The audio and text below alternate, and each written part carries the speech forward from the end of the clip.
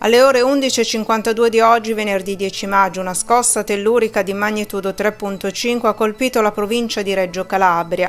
L'epicentro è stato individuato a 7 km da Deglia Nuova con una profondità di 22 km, secondo quanto riportato dall'Istituto Nazionale di Geofisica e Vulcanologia.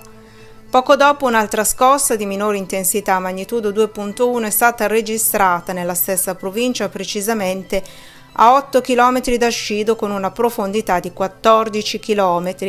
La sala sismica dell'INGV a Roma ha effettuato la localizzazione del sisma, il quale è stato avvertito chiaramente dalla popolazione locale. Numerosi utenti sui social media hanno testimoniato di aver sentito la scossa in vari luoghi della provincia di Reggio, tra cui San Roberto, Taurianova, Scido, Polistena e Rizzicone. Sentito benissimo, ha scritto un utente, mentre un altro ha commentato, avvertito forte.